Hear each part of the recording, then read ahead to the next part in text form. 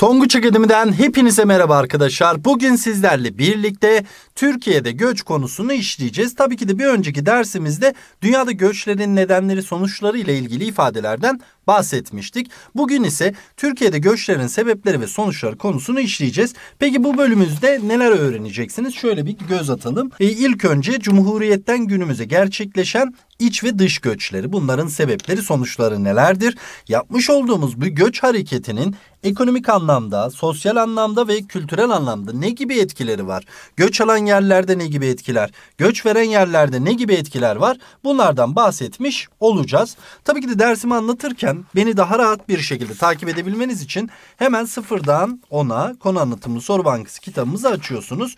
Burası beşeri sistemler kısmı içerisinde yer alıyor. Üçüncü bölüm göç 140. sayfa sevgili arkadaşlar. Şurada Türkiye'deki nüfusun değişimi göçün nedenleri demiş. Hemen şöyle 130 132'den itibaren bir açalım bir bakalım.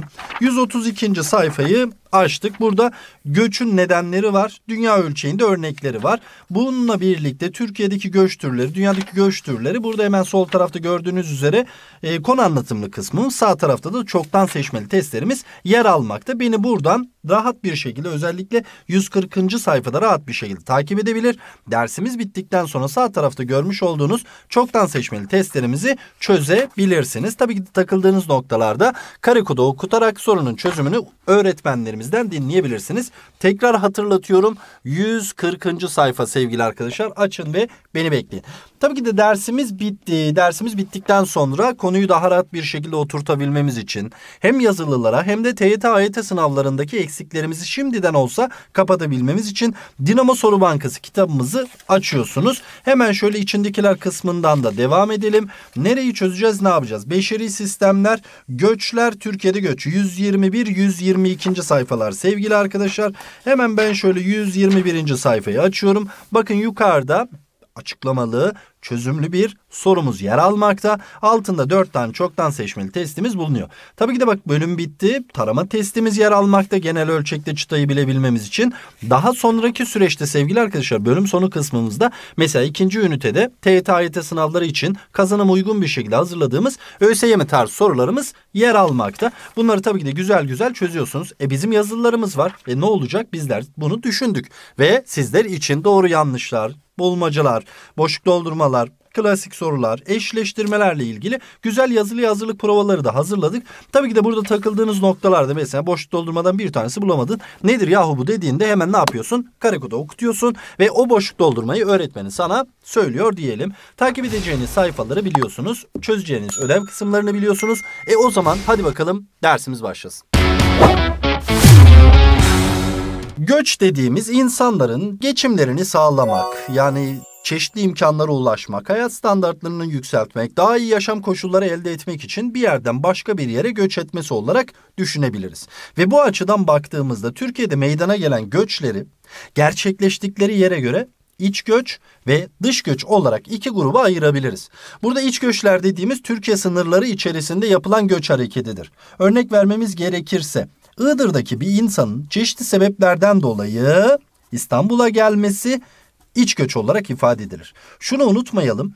İç göç yapan bir kişi ülke sınırları içerisinde hareket ettiği için bu ülke nüfusunda bir değişimi etkilemez. Ama bölgelerdeki nüfus miktarındaki değişimlere sebebiyet verebilir. Şöyle ki göç veren yerlerde nüfus azalmayla birlikte kadın nüfus oranı artar. Göç alan yerlerde nüfus artmayla birlikte erkek nüfusu artar diyebiliriz. Tabii ki de iç göçler sürekli olabileceği gibi yani Iğdır'dan birisi kalktı İstanbul'a geldi ve sürekli burada yaşadı. Bu sürekli bir göçtür. Bunun dışında mevsimlik de olabilir. Misal Doğu Karadeniz'e ne yaptı? Çay hasadı için gitti. İş bitti tekrar buraya geldi. Bununla birlikte sevgili arkadaşlar burada özellikle dış göçler dediğimiz ise Iğdır'daki bir insanın hop ne yapması? Yurt dışına gitmesi. Nereye gitsin? Almanya'ya gitsin tamam Almanya'ya gittiğinde buraya neden gitti? İş imkanları için gitmiş olabilir. Tabii ki de burada dış göç sadece böyle olmaz. Almanya'daki bir insanın misal İzmir'e gelmesi de dış göçtür. Niye? Yurt dışından geldi. Şöyle şunu unutmayalım. Dış göçler ülkedeki nüfus miktarını etkilemekte haberiniz olsun tamam mı çocuklar? Şimdi biz nereden nereye göç ediyoruz? Türkiye ölçeğinde dersek yoğun şekilde göç yönümüz batıdan doğudan batıya doğru. Hemen şuraya şöyle doğudan batıya doğru yoğun bir şekilde göç hareketi var. İnsanlar niye doğudan batıya doğru yoğun bir şekilde göç ediyor dersek doğuda o zaman belirli olumsuz durumlar var. Ve bu olumsuz durumlar göçe neden olan itici faktör olarak geçer. Yani burada olumsuzluklar itici.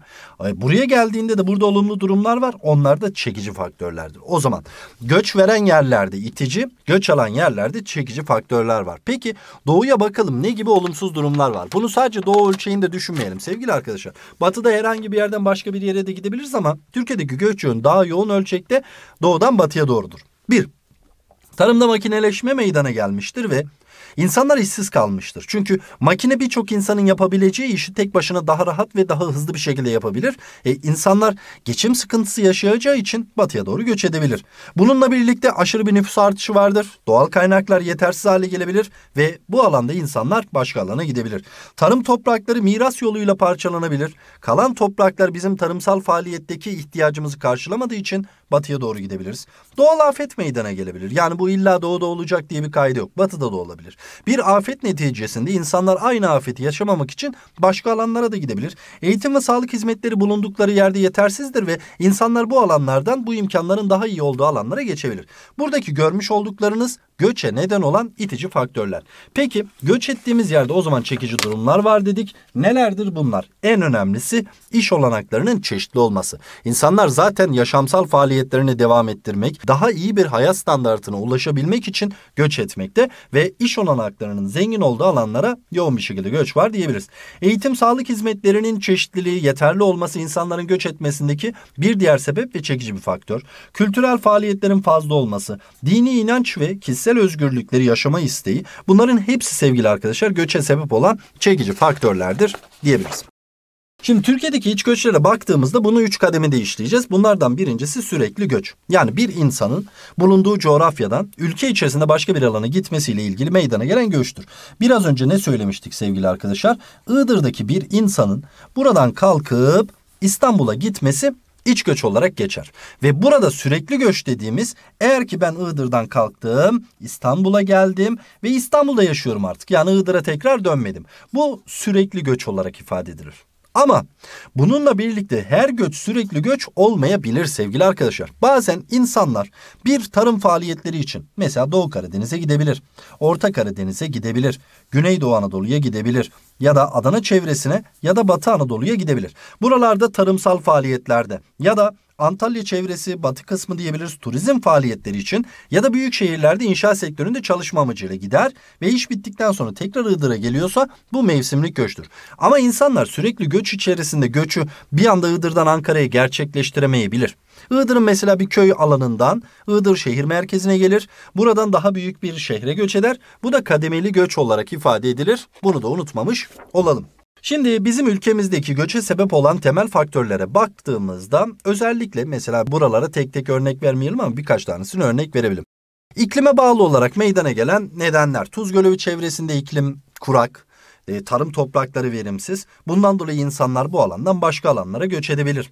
Onun dışında deprem olayları can mal kayıpları neticesinde tekrar aynı deprem olayını, hissiyatını yaşamamak için deprem tehlikesinin az olduğu alanlara göç edilebilir. Mesela İstanbul'da 99 ve 2001 yıllarında yaşanan depremler neticesinde Konya ve Karaman'a yoğun ölçekte göç hareketi meydana gelmiştir. Sel olayının meydana geldiği yerde can mal kayıplarını azaltmak için çığ heyelan olayları olmadan önce ya da olduktan sonra tekrar bir yıkımın olmaması için insanları başka alanlara ne yapabiliriz? Gönderebiliriz. Yaz döneminde yaşadık maalesef orman yangınları ve birçok yer yerleşim birimini ne yaptık? Boşaltmak zorunda kaldık diyebiliriz. Ama şunu unutmayalım. Göçe sebep olan en önemli faktör nedir dediğimizde ekonomik faktörlerdir. İnsanlar daha yoğun ölçekte doğudan batıya doğru gitmesinin temel sebebi iş imkanlarıdır. Bununla birlikte doğu ve güneydoğu kısımlarında diğer alanlarda da olabilir. Toprakların miras yoluyla parçalanması tarımsal faaliyetlerdeki e, ürün getirisini azaltacağı için çünkü daha küçük alanda tarım yapıyorsun. Bu da insanların bulunduğu alandan başka alana göç etmesine sebep olabilir diyebiliriz. Sosyal kişisel neden Eğitim için, iyi bir eğitim almak için büyük şehirlere gidebilirsiniz. Dini nedenler, kültürel farklılıklar, daha iyi bir sağlık hizmeti almak için gidebilirsiniz. Daha iyi yaşam tercihi, sosyal ve kişisel neden olarak karşımıza çıkmakta. Şimdi net göç dediğimiz bir kavram var. Alınan göç ile verilen göç arasındaki fark net göç olarak ifade ediliyor. net göçün toplam nüfusu oranı da net göç hızı adı verilmekte. Bakın şöyle Türkiye ölçeğindeki yerlere baktığımız zaman illerimize eksi yani mavi değerde olanların net göç hızı eksi değerde, kırmızı alanda özellikle koyulaştığında artı değerdedir. Bu ne demektir dersek bir yerleşim biriminde net göç hızı pozitif değerde ise yani kırmızının koyulaşan tonlarında ise o alana yani alınan göçün verilen göçten daha fazla olduğunu, eğer ki negatif değerde ise bak mesela mavi renk tonlarında ise alınan göçün verilen göçten daha az olduğunu söylemektedir. Baktığımız zaman neyse İstanbul, Ankara, Konya, Denizli gibi alanlarda net göç hızı eksi değerdedir. Bu bana neyi söyler? Bu bana şunu söylüyor. İstanbul'a gelen, göçle gelen kişi göçle giden kişiden daha azmış. Net göç hızı ekside. Mesela Çankırı'ya bakıyorum. Bayburt, Gümüşhane, Giresun, Sivas bu alanlara bakıyorum. Bunlar net göç hızı artıda olan kısımlar. Yani burada da durum şöyle. Alınan göç verilen göçten daha fazla. Tabii ki de burada son dönemdeki pandeminin etkileri de bundaki en temel etkendir diyebiliriz. Şöyle ki bir bakalım. Yani net göç hızı dedik. En yüksek ve en düşük olduğu alanlara da bakmamız lazım.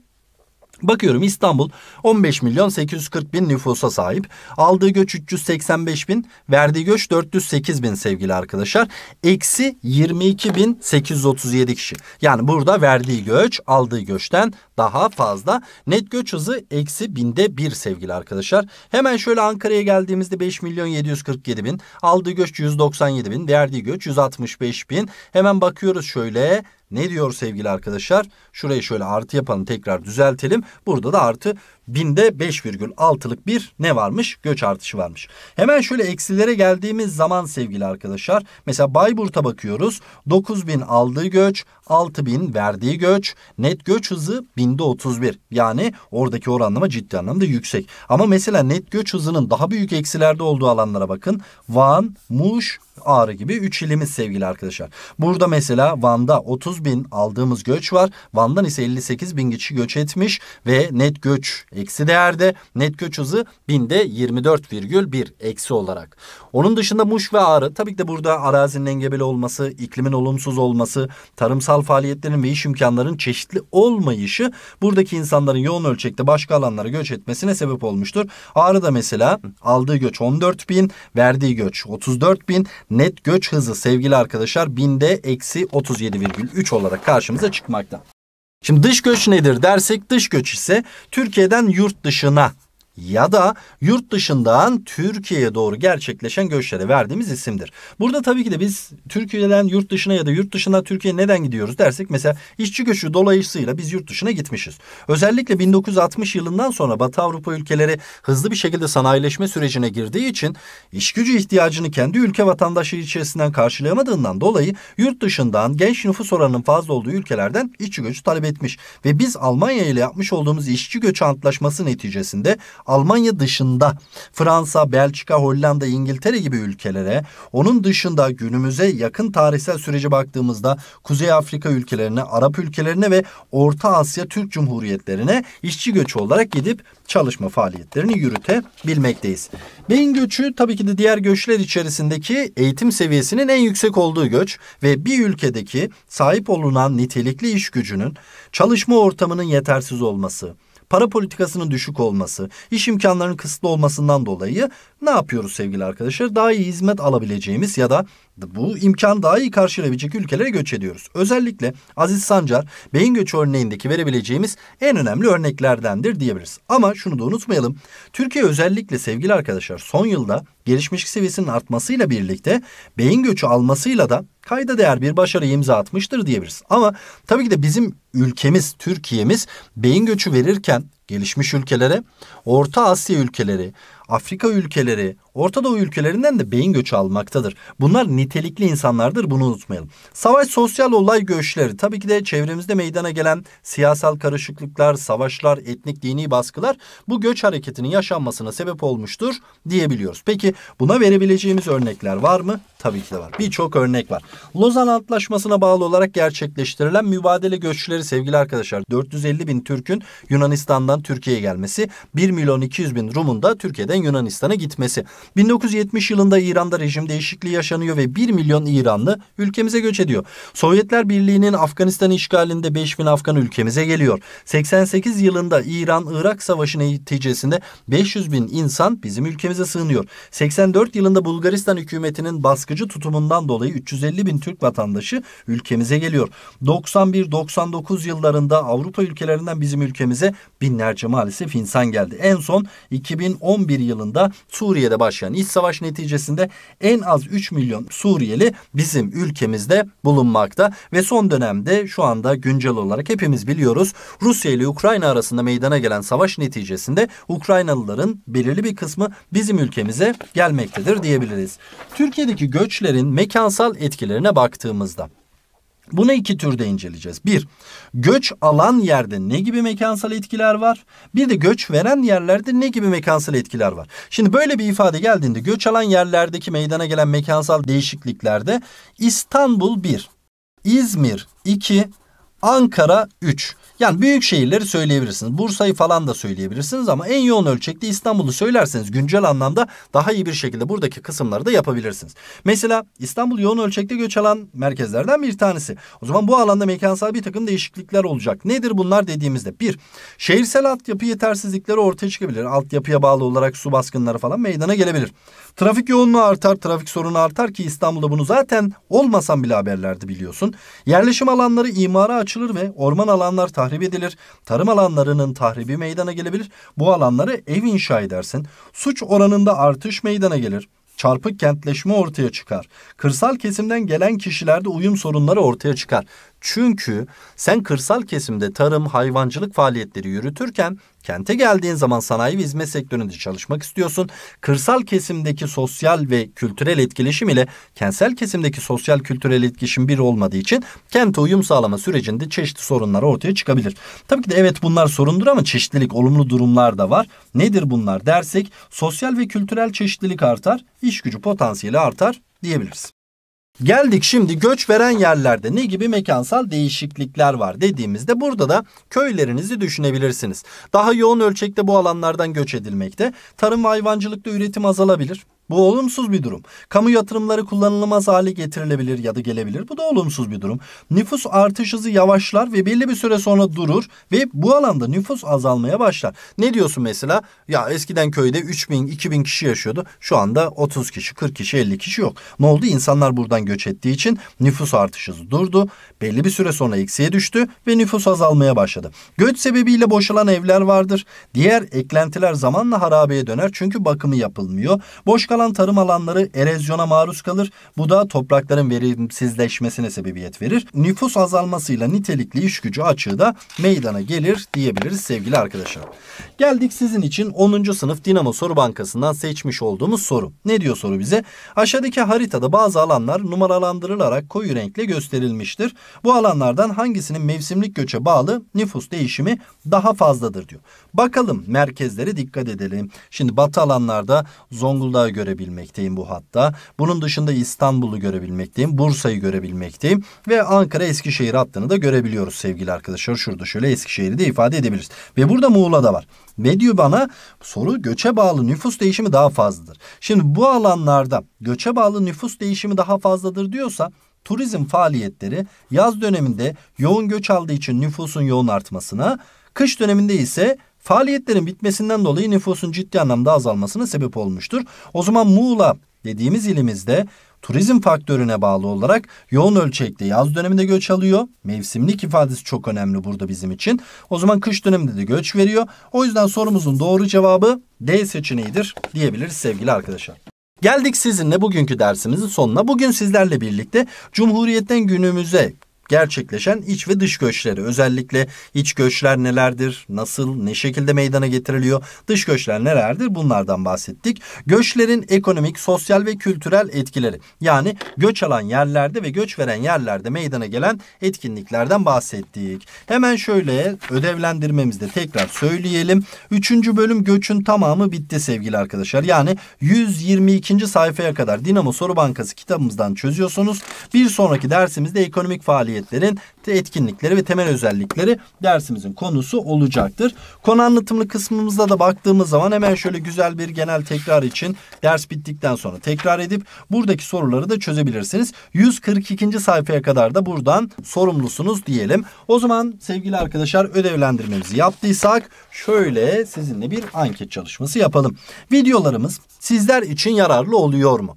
Yani burada özellikle sevgili arkadaşlar yapmış olduğumuz videolar evet güzel diyebileceğiniz ya da olumsuz bir yorumda bulunabileceğiniz bir durum var mı? Bunlar bizler için çok değerli. Onun dışında başka etkinlikler de biz sizler için yapmak istiyoruz. Bunları düşünüyoruz ama sizin de bizlere söyleyebileceğiniz bir etkinlik vardır. Bir öneri, bir tavsiye vardır. Bunları da mutlaka yorumlar kısmınızda belirtmeyi istiyorum. Akabinde ödüllü soru var bir sonraki sayfada. Cevabını yorumlar kısmına bekliyorum. Videomuzu da like atmayı unutmayın sevgili arkadaşlar. Hadi bakalım karşınızda günün ödüllü sorusu. Cevapları yorumlar kısmına bekliyorum. Kendinize çok iyi bakın. Kolay gelsin, iyi çalışmalar.